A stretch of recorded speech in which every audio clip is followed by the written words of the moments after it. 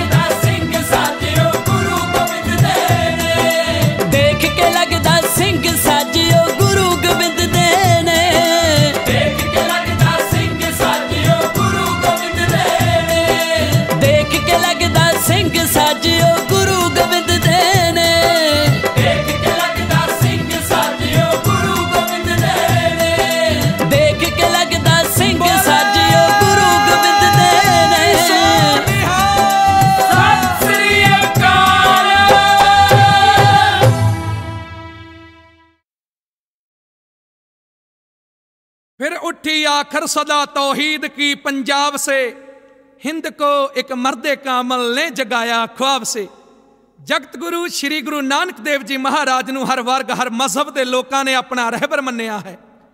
ਉਰਦੂ ਦੇ ਸ਼ਾਇਰ ਦਾ ਕਥਨ ਹੈ, ਨਾਨਕ ਗੁਰੂ ਰਹਿਨੁਮਾ ਬਣ ਕੇ ਆਇਆ। ਹਰ ਇੱਕ ਦਰਦ ਦਿਲ ਕੀ ਦੁਆ ਬਣ ਕੇ ਆਇਆ। ਪਾਪੋਂ ਕੀ ਅਗਨੀ ਮੇ ਜਲਤੀ ਥੀ ਦੁਨੀਆ। ਬੁਝਾਣੇ ਕੀ ਖਾਤਰ ਸਫਾ ਬਣ ਕੇ ਆਇਆ। हिंदुओं ਕੇ सतगुर थे दीनों के राक्षस मुस्लिम के घर मुस्तफ़ा बन के आया। दुई का पर्दा उठाने की खातिर वो नानक की सूरत खुदा बन के आया। पंजाबी ਦੇ ਉਸਤਾਦ ਸ਼ਾਇਰ ਜੰਡੂ ਲਿਤਰਾ ਵਾਲੇ ਨੇ ਬਹੁਤ ਸੋਹਣਾ ਲਿਖਿਆ ਹੈ ਕਿ ਉੱਚੀ ਸੁੱਚੀ ਬਾਣੀ ਬਾਬੇ ਨਾਨਕ ਦੀ ਘਰ ਘਰ ਵਿੱਚ ਕਹਾਣੀ ਬਾਬੇ ਨਾਨਕ ਦੀ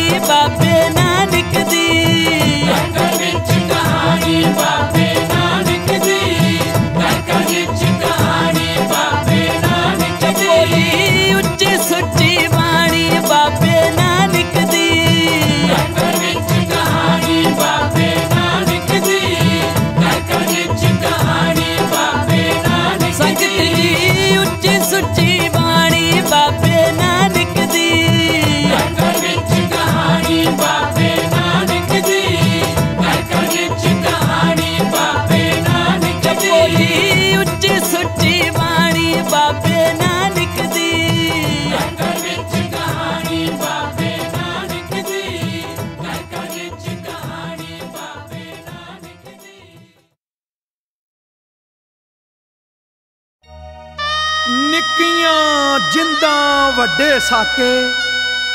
ਬਾਬਾ ਜ਼ੋਰਾਵਰ ਸਿੰਘ ਜੀ, ਬਾਬਾ ਫਤਿਹ ਸਿੰਘ ਜੀ, ਗੁਰੂ ਗੋਬਿੰਦ ਸਿੰਘ ਜੀ ਮਹਾਰਾਜ ਦੇ ਛੋਟੇ ਸਾਹਿਬਜ਼ਾਦੇ ਜ਼ਾਲਮ ਸੂਬੇ ਦੀ ਕਚਹਿਰੀ ਵੱਲੋਂ ਤੁਰੇ ਜਾ ਰਹੇ ਨੇ। ਕਲੀਆਂ ਤੋਂ ਸੋਹਣੇ, ਡਾਢੇ ਮਨਮੋਹਣੇ, ਪਿਆਰੇ ਲੱਗਦੇ, ਹਰ ਦਿਲ ਨੂੰ ਠੱਗਦੇ ਸਾਹਿਬਜ਼ਾਦਿਆਂ ਨੂੰ ਤੱਕ ਕੇ ਦੁਨੀਆ ਦੇ ਲੋਕ ਭੁੱਬਾ ਮਾਰ ਮਾਰ ਕੇ ਇਹੋ ਕਹਿ ਰਹੇ ਸਨ ਇਹ ਚੱਲੇ ਜਿੱਥੇ ਬਾਂਡੇ ਉੱਥੋਂ ਮੁੜ ਕੇ ਨਹੀਂ ਆਉਣਾ।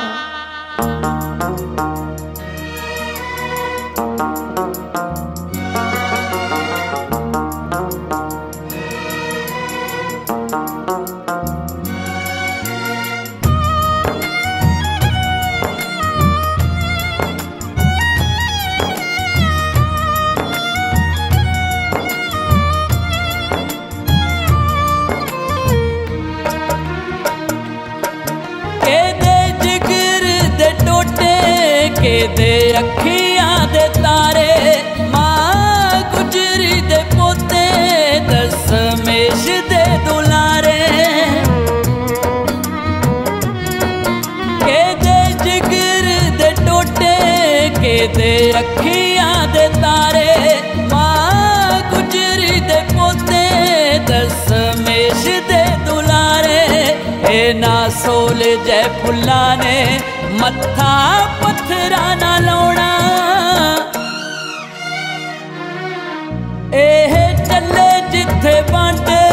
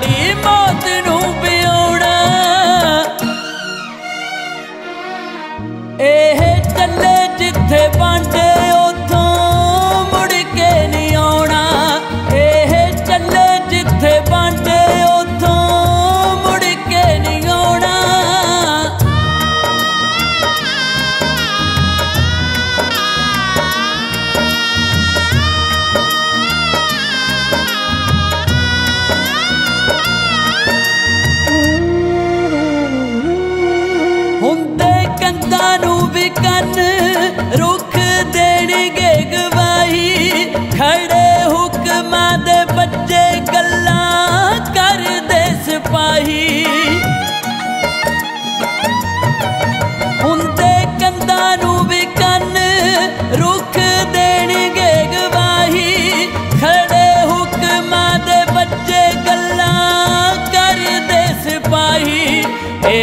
ਕਦੋਂ ਦੇ ਉਣੀਂਦਿਆਂ ਨੇ ਨੀਹਾਂ ਵਿੱਚ ਸੋਣਾ। ਇਹ ਚੱਲੇ ਜਿੱਥੇ ਬਾਂਡੇ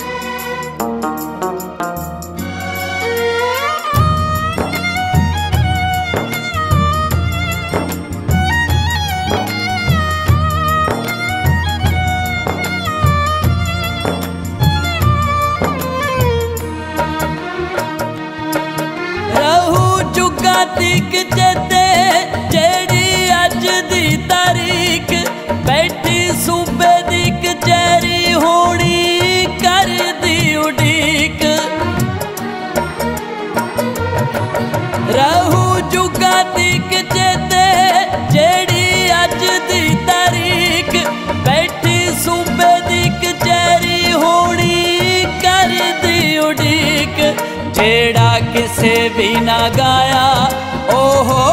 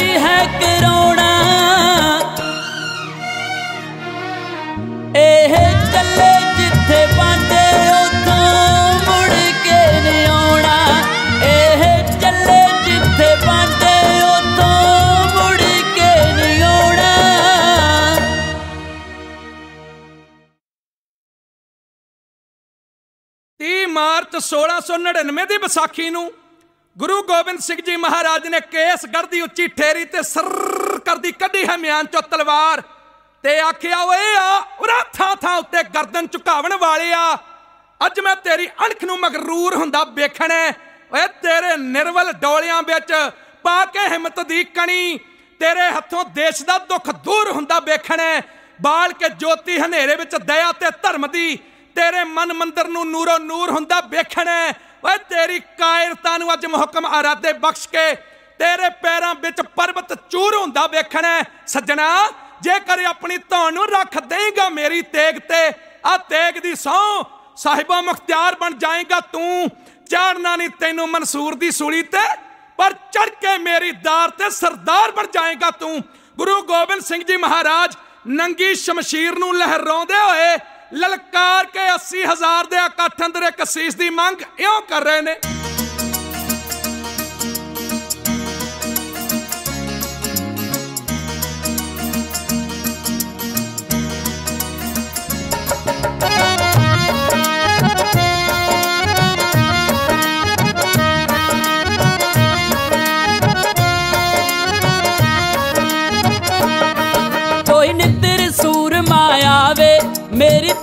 ਦੀ ਪਿਆਸ ਬੁਝਾਵੇ, ਉੱਠਣ ਲੱਗਾ ਪਲ ਨਾ ਲਾਵੇ, ਨਹੀਂ ਦੂਜਾ ਬਰਮਾਨ ਕੋਈ। ਸੀਸ ਦੀ ਪੇਟ ਚੜਾਵੇ ਵਈ, ਉਹਦਾ ਬਲਵਾਨ ਕੋਈ। ਸੀਸ ਦੀ ਪੇਟ ਚੜਾਵੇ ਵਈ, ਉਹਦਾ ਬਲਵਾਨ ਕੋਈ।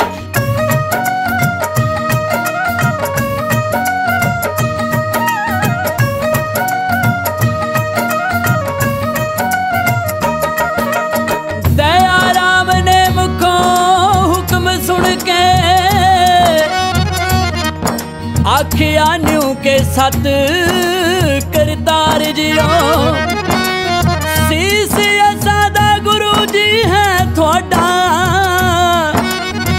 ਸਾਂਭੋ ਦਸਵੇਂ ਪਿਤਾ ਦਾ ਤਾਰ ਜਿਓ ਦਇਆ ਰਾਮ ਤੰਬੂ ਵਿੱਚ ਖੜ ਕੇ ਸਤਿਗੁਰ ਬੱਦਲ ਵਾਂਗੂ ਗੜ ਕੇ ਲਿਬੜੀ ਹੋਈ ਸ਼ਮਸ਼ੀਰ ਨੂੰ ਫੜ ਕੇ ਸੱਜ ਲਈ ਦੂਜੀ ਜਾਨ ਕੋਈ। ਸੀਸ ਦੀ ਪੇਟ ਚੜਾਵੇ ਵਈ, ਉਹਦਾ ਬਲਵਾਨ ਕੋਈ। ਸੀਸ ਦੀ ਪੇਟ ਚੜਾਵੇ ਵਈ, ਉਹਦਾ ਬਲਵਾਨ ਕੋਈ।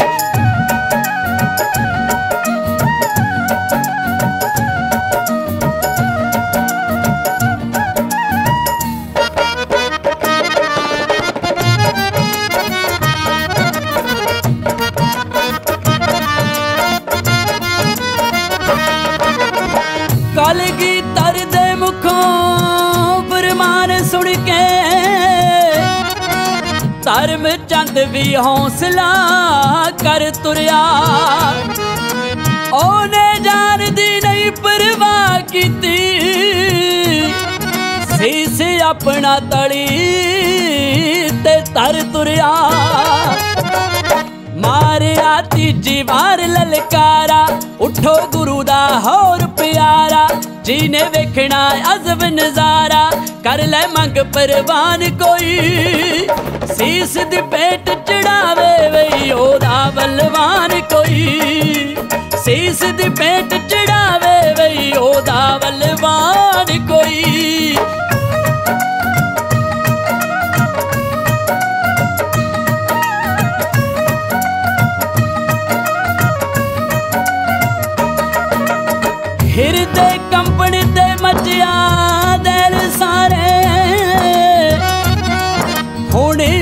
ਉਠੂਗਾ ਕਿਹੜਾ? ਫਰਜ਼ਾਂ ਲੋਕੋ। ਚੰਦ ਮਾਵਾ ਦੇ ਚੰਦ ਨੂਰੇ ਵੇਂਦੇ ਜਦੋਂ ਉੱਠ ਆਇਆ ਮੌਤਮ ਚੰਦ ਲੋਕੋ। ਪਾਤਸ਼ਾਹ ਉਸ ਦਾ ਹੁਕਮ ਬਜਾ ਕੇ ਖੜ ਗਏ ਕੋਲ ਤਖਤ ਦੇ ਆ ਕੇ। ਮੌਕਮ ਚੰਦ ਨਾਲ ਨਜ਼ਰ ਮਿਲਾ ਕੇ। ਸੱਦ ਲਈ ਚੌਥੀ ਜਾਨ ਕੋਈ। ਸੀਸ ਦੀ ਪੇਟ ਚੜਾਵੇ ਵਈ ਉਹਦਾ ਬਲਵਾਨ ਕੋਈ। ਸੀਸ ਦੀ ਪੇਟ ਚੜਾਵੇ ਵਈ ਉਹਦਾ ਬਲਵਾਨ ਕੋਈ।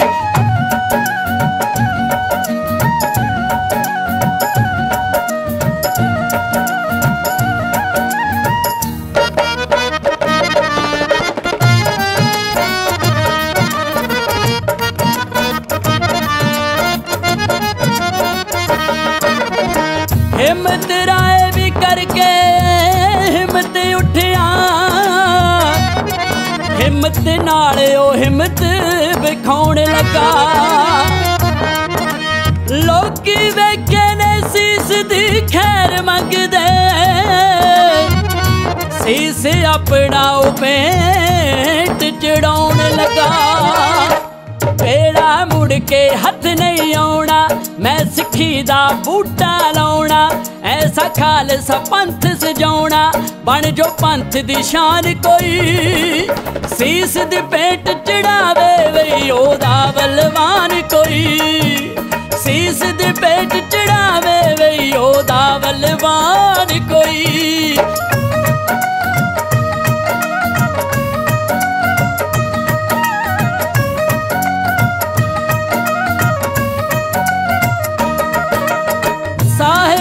ਸਾਹਿਬ ਨੂੰ ਤੱਕ ਕੇ ਸਭ ਸੰਗਤਾਂ।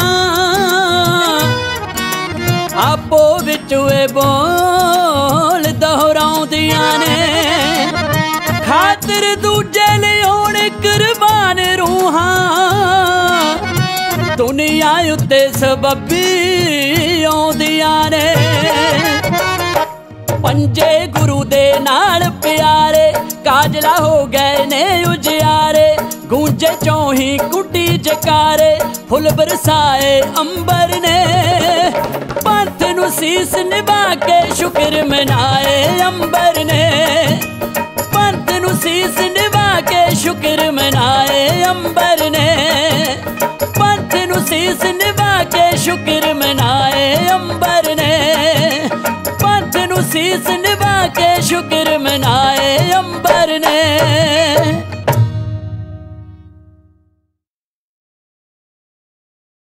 ਗੁਰੂ ਗੋਬਿੰਦ ਸਿੰਘ ਜੀ ਮਹਾਰਾਜ ਨੇ ਖਾਲਸੇ ਨੂੰ ਅਣਖ ਤੇ ਸਬੈ ਮਾਣ ਨਾਲ ਸਿਰ ਤਲੀ ਤੇ ਧਰ ਕੇ ਤੁਰਨਾ ਸਿਖਾਇਆ ਹੈ।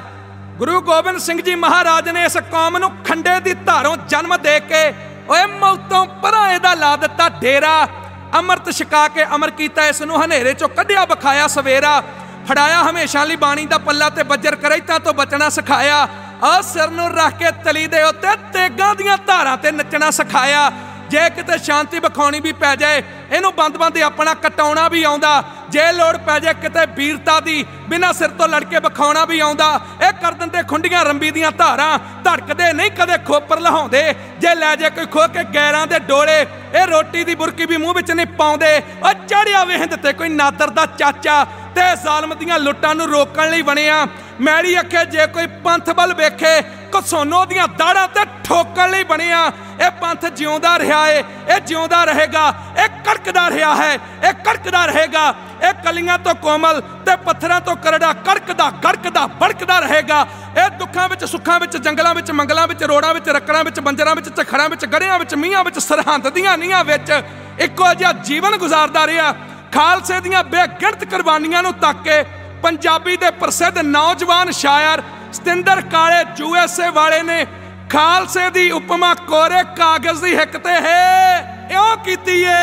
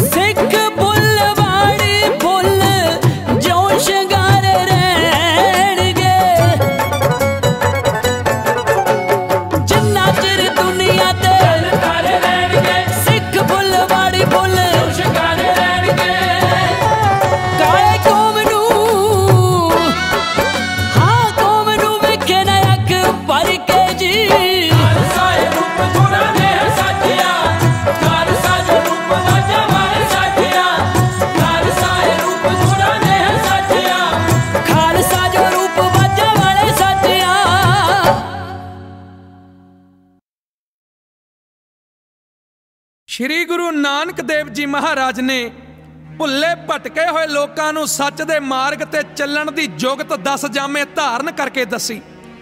ਗੁਰੂ ਸਹਿਬਾਨਾਂ ਦੇ ਸਰੂਪ 10 ਹੋਏ ਨੇ, ਪਰ ਜੋਤ ਤੇ ਜੁਗਤ ਇੱਕੋ ਹੀ ਰਹੀ ਹੈ। ਗੁਰਬਾਣੀ ਦਾ ਫਰਮਾਨ ਹੈ, ਜੋਤ ਓਹਾ ਜੁਗਤ ਸਾਏ ਸਹਕਾਇਆ ਫੇਰ ਪਲਟੀਐ। ਸ੍ਰੀ ਗੁਰੂ ਗ੍ਰੰਥ ਸਾਹਿਬ ਜੀ ਮਹਾਰਾਜ ਦਸਾਂ ਗੁਰੂਆਂ ਦੀ ਜੋਤ ਨੇ ਇੱਕ ਪੰਜਾਬੀ ਦੇ ਸ਼ਾਇਰ ਨੇ ਠੀਕ ਲਿਖਿਆ ਕਿ ਤੁਰਕੀ ਬਾਣੀ ਦੇ ਗੁਰੂ ਗ੍ਰੰਥ ਅੰਦਰ ਦਸਾਂ ਗੁਰੂਆਂ ਦੀ ਬੋਲਦੀ ਆਤਮਾ ਏ। ਜੇਕਰ ਅੰਦਰਲੀ ਅੱਖ ਦੇ ਨਾਲ ਤਕੀਏ, ਦਿਸਦਾ ਇਸ ਦੇ ਵਿੱਚੋਂ ਪਰਮਾਤਮਾ ਏ।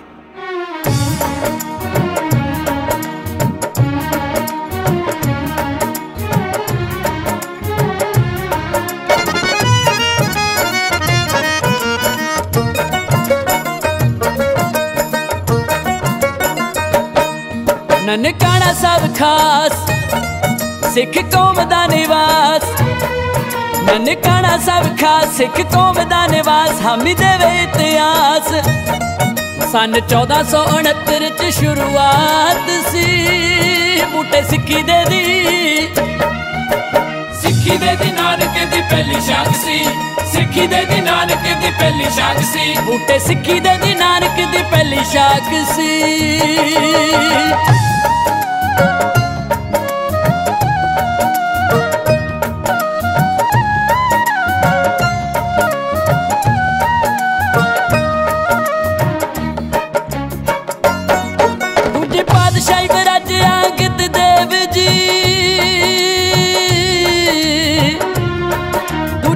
ਪਾਤਸ਼ਾਹੀ ਬਰਾਜਿਆ ਗਿੱਦ ਦੇਵ ਜੀ। ਗੁਰਮੁਖੀ ਦੀ ਸਥਾਪਨਾ ਨਾ ਮਤ ਭੇਦ ਜੀ। ਗੁਰਮੁਖੀ ਦੀ ਸਥਾਪਨਾ ਨਾ ਮਤ ਭੇਦ ਜੀ। ਦਸ ਕੌਮ ਨਾ ਨਾ ਕੌਮ ਲਈ ਕੋਈ ਆਮ ਖਾਸ ਜੀ। ਤੀਜੀ ਪਾਤਸ਼ਾਹੀ। ਪਾਤਸ਼ਾਹ ਬਰਾਜਿਆ ਅਮਰਦਾਸ ਜੀ। ਪਾਤਸ਼ਾਹ ਬਰਾਜਿਆ ਅਮਰਦਾਸ ਜੀ। ਤੀਜੀ ਪਾਤਸ਼ਾਹੀ ਬਰਾਜਿਆ ਅਮਰਦਾਸ ਜੀ।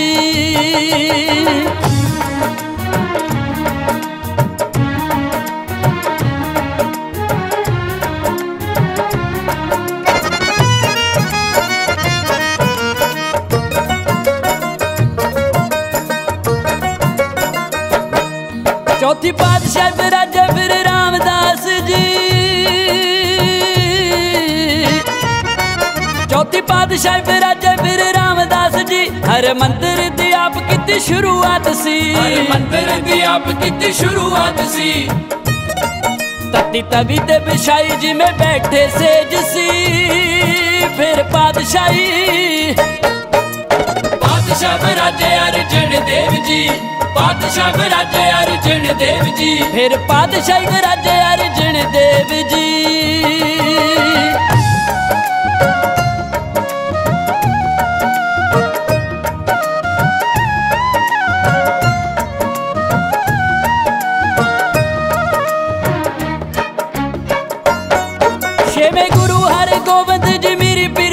ਸਾਜੀ ਛੇਵੇਂ ਗੁਰੂ ਹਰ ਗੋਬਿੰਦ ਜੀ ਮੇਰੀ ਪੀਰ ਸਾਜੀ ਆਪ ਤਖਤ ਅਕਾਲ ਹੱਥੀ ਇੱਟ ਗੁਰਾਂ ਆਪ ਸਾਜੀ ਤਖਤ ਅਕਾਲ ਹੱਥੀ ਇੱਟ ਗੋਰਾ ਸਾਜੀ। ਫੁੱਲ ਹਰ ਗੱਲ ਕੌਮ ਦੀ ਤੇ ਗੁਰਾ ਪਾਏ ਸੀ। ਫਿਰ ਪਾਤਸ਼ਾਹੀ ਪਾਤਸ਼ਾਹ ਬਰਾਜੇ ਗੁਰੂ ਹਰਿ ਰਾਏ ਜੀ। ਪਾਤਸ਼ਾਹ ਬਰਾਜੇ ਗੁਰੂ ਹਰਿ ਰਾਏ ਜੀ। ਫਿਰ ਪਾਤਸ਼ਾਹੀ ਬਰਾਜੇ ਗੁਰੂ ਹਰਿ ਰਾਏ ਜੀ।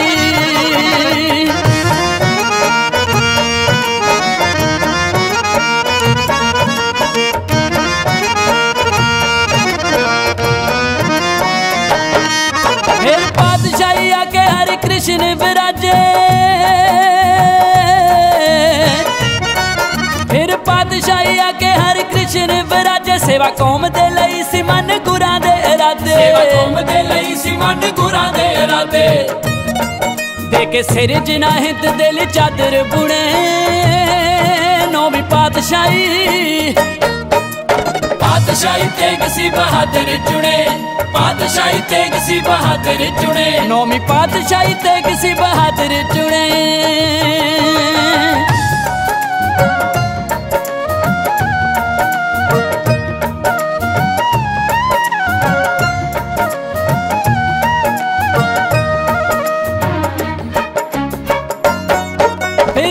ਸ਼ਹੀਦ ਪਿਆਰੇ।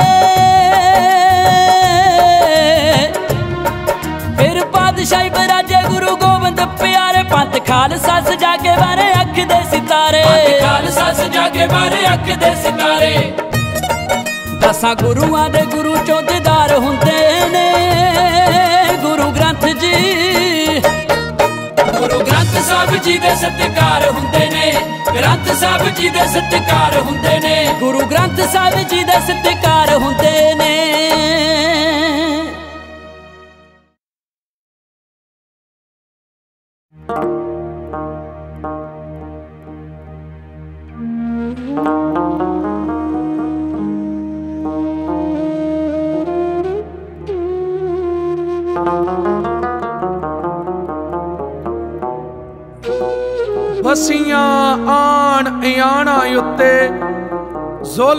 ਜ਼ਬਰ ਦੀਆਂ ਘੜੀਆਂ, ਬਲੀਆਂ, ਸੜੀਆਂ।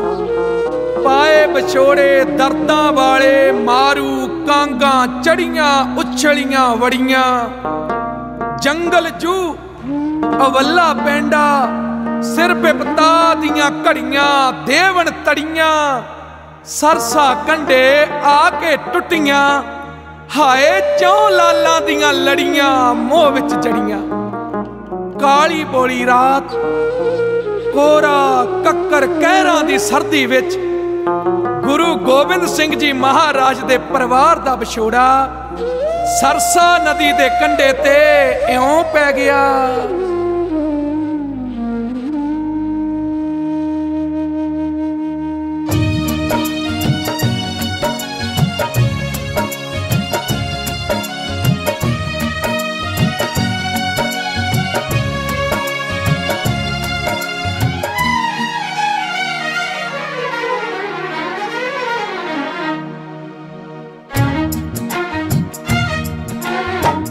ਛੱਡ ਕੇ ਕਿਲੇ ਨੂੰ ਆ ਕੇ ਜੰਗਲ ਦੇ ਵਿੱਚ ਬਹਿ ਗਏ। ਛੱਡ ਕੇ ਕਿਲੇ ਨੂੰ ਆ ਕੇ